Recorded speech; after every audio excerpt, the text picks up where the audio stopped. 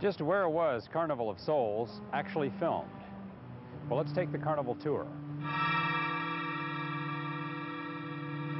Since the film was very low budget and involved key individuals from Centron Studios, Lawrence, Kansas was ideal for most of the shooting. This intersection at 23rd and Iowa has changed considerably, but this is where the drag race occurred when shooting began back in 1961. Several dirt roads used for the race are now paved along Clinton Parkway. And the Lecompton Bridge, site of the car dropping into the Kansas River, has been completely rebuilt. No more $12 repair jobs here.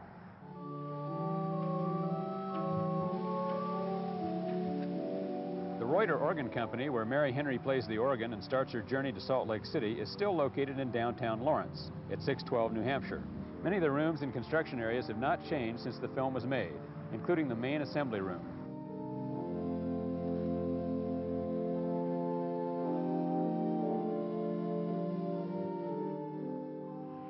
The room that Mary Henry stayed at in Salt Lake City was located in this house at 6th and Louisiana. The exterior was also used as Mrs. Thomas's rooming house in the film. The church Mary Henry played at in Salt Lake City is also here at 10th and Vermont in Lawrence. Not only is the outside of Trinity Episcopal Church used in the film, but the interior, the organ loft, containing a Reuter organ, by the way, and these stained glass panels also have significant parts in the film.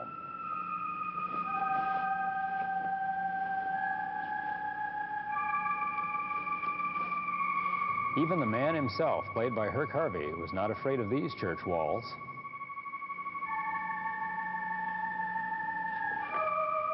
The other locations, the bar known as the Dynamite Inn, the gas stations, the bus depot, are long gone or irrevocably changed.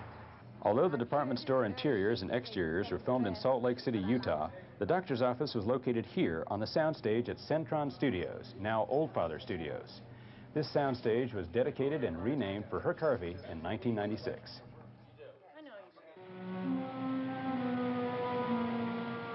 The centerpiece of the film, the Saltair Amusement Pavilion, has gone through a variety of incarnations since it first appeared in 1893. A fire destroyed the first Saltair in 1925, and it was entirely rebuilt a year later.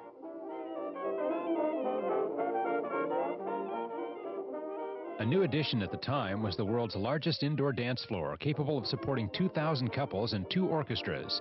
Glenn Miller, Tommy Dorsey, and others played at Saltair.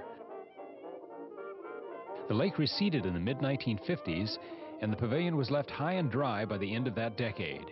In the winter of 1970, long after Carnival of Souls was filmed, Saltair burned to the ground again.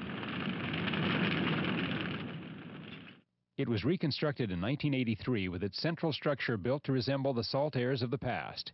It was open for one year before the Great Salt Lake rose and in a violent thunderstorm straight out of Hollywood, washed over it and swallowed it up. There are still hopes of salvaging and reopening this unique attraction, but not until the Great Salt Lake goes down again. Perhaps the most unusual of the film's locations was one that I asked Herk Harvey about several years ago. I asked about the shots of the dead people rising from Salt Lake, imagining that it had been filmed on location near Salt Air. Herk shattered my illusion of this stark, spooky sequence by telling me that it was filmed in an apartment swimming pool not far from his home. Oh, the magic of the movies.